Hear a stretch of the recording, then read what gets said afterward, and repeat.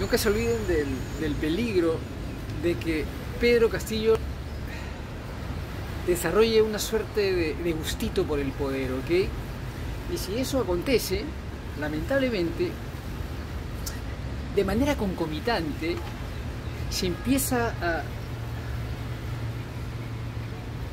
a formar, a desarrollar una sabiduría torpe para sostener, para mantenerse en el poder, ¿ok? Esta sabiduría torpe, ¿ok? Siempre recibe el soporte de terceras personas que se aunan a este gustito por el poder, ¿ok? Cuidado que eso suceda en el Perú. Si eso sucede en el Perú, Dios les libre.